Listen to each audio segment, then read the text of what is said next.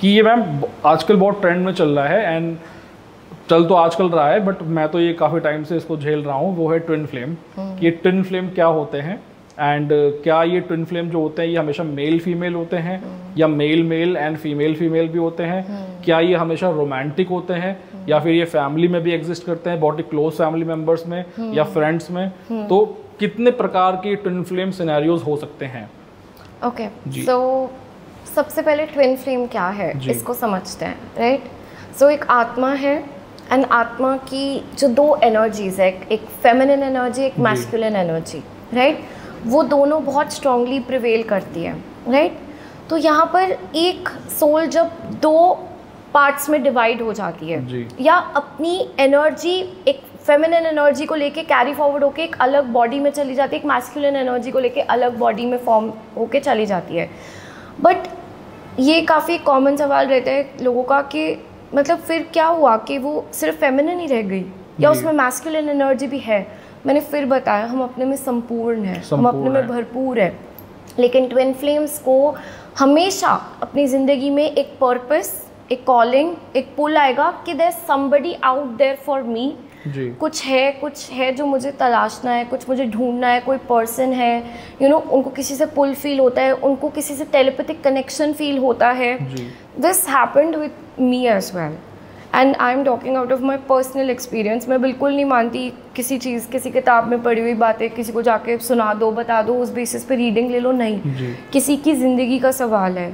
आप वो दावे से बता सकते हो जो आपने खुद देखा हो एक्सपीरियंस किया हो एंड आपको पता है कि इसकी फंक्शनिंग कैसी वर्क करती है। एंड इसके पीछे भी कोई कारण ही है ना जो भगवान ने आज के समय में इतने सारे ट्विन फ्लेम्स को इकट्ठे यहाँ पर यू नो इनकारनेशन का मौका दिया है। उन सबका एक पर्पस है। जी। उन सबका एक रीज़न है। सो so, मेरा मानना डेफिनेटली ये होता है। एंड ये जो सोल होगा ना ये ये जो आत्मा होगी जो ये पर्सन होगा आप देखोगे कि आपका मिरर सेल्फ होगा। जी। बिल्कुल आपके जैसा। हो सकता है आप दोनों की हीलिंग थोड़ी आगे पीछे हो। एक पर्सन लीड करता है दूसरा जो है फॉलो करता है करता है, जर्नी में। तो आप लोगों की हीलिंग कहीं आगे पीछे हो लेकिन ट्रेड्स आप दोनों के बड़े सिमिलर होंगे। Personality core morals belief systems like that and at the same time ये पर्सन आपको आपका आईना दिखाएगा। मतलब आपके जो अनहील्ड पार्ट्स। हैं या ट्रिगर्स है। किसी ना किसी वे में जाने अनजाने में ये पर्सन उनको ट्रिगर करेगा बिकॉज़ अल्टीमेटली आपका रास्ता is has to go towards healing healing तो ये जर्नी इसलिए बोली जाती है because he or she will make you the perfect version of yourself yes by healing every aspect of your life by triggering by and triggering heal तो. हमें खुद ही करना ये पड़ता trigger है। बहुत खराब होते हैं। ट्रिगर खराब होते हैं लेकिन फिर हमें क्या याद करना पड़ता है जाके कि पर्पस क्या है। तो बिल्कुल ट्विन फ्लेम्स मेल मेल भी हो सकते हैं जिसको हम गेज के फॉर्म में देखते हैं जो कि बिल्कुल प्रेजेंट है। Present मैंने जी। अपनी जो रीडिंग्स भी करी हुई है मैंने इसका जो मतलब इफ़ेक्ट है वो लाइव अपने सामने देखा हुआ है। तो बिल्कुल भी again I am not talking out of just anything I have seen this happen तो ये होता है। फीमेल फीमेल भी हो सकता है बिल्कुल। तो ट्विन फ्लेम्स को पर्टिकुलरली जितना मैंने देखा है वो एक लव या रोमांटिक कनेक्शन में होते हैं। जी। क्योंकि पुल उनका उस तरीके का कुछ है। भले वो गेज एंड लेस्बियन Yes. हो या फिर एक नॉर्मल मेन एंड फीमेल हो। बिल्कुल। Okay. मैंने देखा रोमांटिक रिलेशनशिप्स में है। जी। आप जो बता रहे हैं वो ये सोल मेट जो होता है वो कोई भी हो सकता जी, है। जी, वो। हमारा डॉग भी हो सकता है वो हमारी मदर भी हो सकती हाँ। है हमारे कोई भी हो सकता है। Could be anybody ji, family friends a mentor a guru anybody but twin flame is always a romantic flame, what couple. I have in my entire experience जी. seen till now, जी. they are romantic partners. And ma'am are they meant to be together शादी होती है या नहीं होती ऐसा बिल्कुल भी कहीं नहीं है कि उनकी शादी होएगी होएगी एंड व्हाट इफ़ मैम अगर ट्विन फ्लेम शादी ना करे अपने पार्टनर से जानते हुए भी कि ये ट्विन फ्लेम है एंड ही डिसाइडेड टू और she decided to go with a soulmate then with a soulmate okay see first of all आप जो एक ट्विन फ्लेम के साथ फील करते हो जी वो आप कभी ज़िंदगी में किसी और के साथ एक्सपीरियंस कर ही नहीं सकते। वो तो ठीक है मैम बट अगर ट्विन फ्लेम अपना जो पार्टनर है वो बहुत ही खराब है। ट्विन फ्लेम तो- बिल्कुल होता है ये भी होता है कि ट्विन फ्लेम अनअवेकेंड है टॉक्सिक है टॉक्सिक है। तो उसको छोड़ना ही बेटर है। जी। बिल्कुल छोड़ दो। Don't go by this name ये बहुत लोगों में दिक्कत क्या रहती है वो इस नाम के पीछे भागते हैं। कि ट्विन फ्लेम अच्छा highest level of material love but यहाँ पे मैं दूँ जो आप बता रहे हो ना क्योंकि बहुत सारे लोग इसको गलत ले लेंगे। कि ट्विन फ्लेम का टॉक्सिक होना। क्योंकि मैं खुद ट्विन फ्लेम हूँ तो मैं इस बात को अच्छे से समझ रहा हूँ जो आप बता रहे हो कि ट्विन फ्लेम अपने पार्टनर का टॉक्सिक होना या गलत होना इस पे भी निर्धारित करता है कि आप अपनी स्पिरिचुअल जर्नी में कितने आगे हो।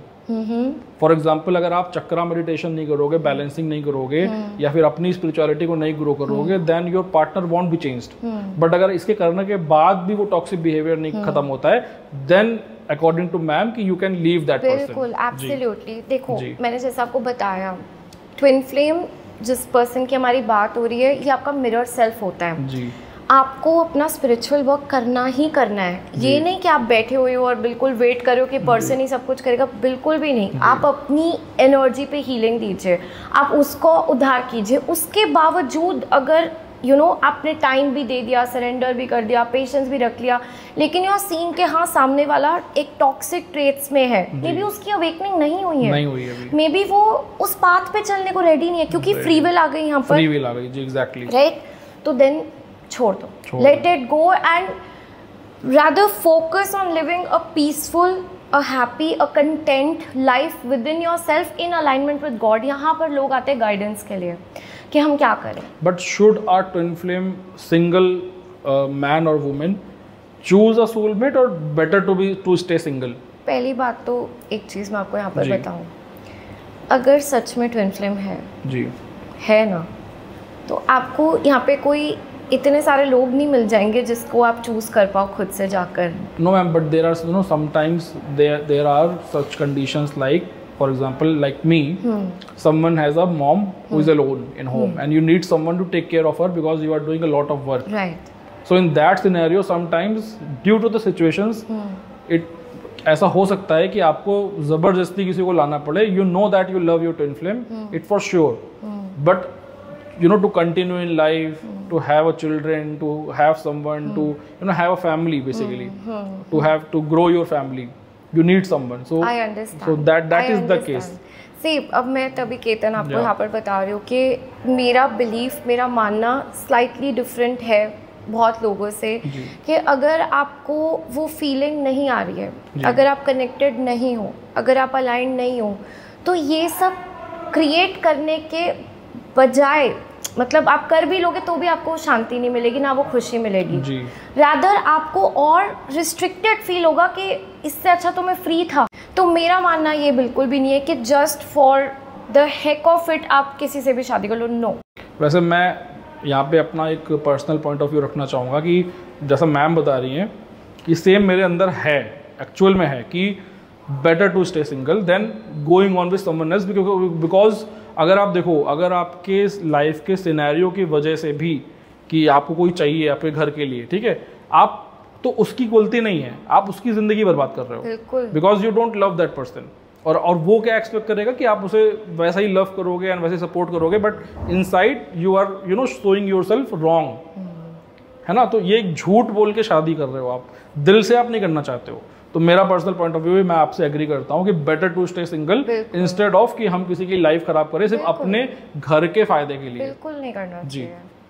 नहीं करना चाहिए जी। एग्जैक्टली तो thank you so much ma'am बहुत ही इंटरेस्टिंग कन्वर्सेशन रही एंड आई थिंक जो बहुत सारे लोग क्वेश्चंस कर अभी मैम रिसेंटली मैंने एक ट्विन फ़िल्म वीडियो डाला था। Instagram hmm. पे उसे पाँच लाख लोगों ने देखा एंड उन पाँच लाख लोगों में से ही hmm. मैंने देखे बहुत सारे कमेंट्स और वो कह रहे हैं कि मैं भी ट्विन फ़िल्म हूँ मैं भी ट्विन फ्लेम हूँ तो मुझे पहली बार मालूम पड़ा कि यार इतने सारे ट्विन फ्लेम आ रहे हैं आसपास। तो फिर और सब लोग क्वेश्चन कर रहे हैं कि भाई क्या होगा क्या होगा तो मैंने कहा फाइनली ये वीडियो अब चला जाएगा तो उन सबका आंसर मिल जाएगा उनको कि क्या होता है। जी।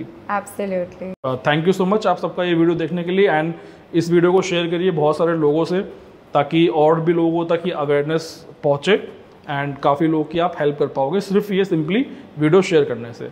So thank you so much and मिलते हैं फिर अपने अगले किसी पॉडकास्ट पे। Thank you thank you ma'am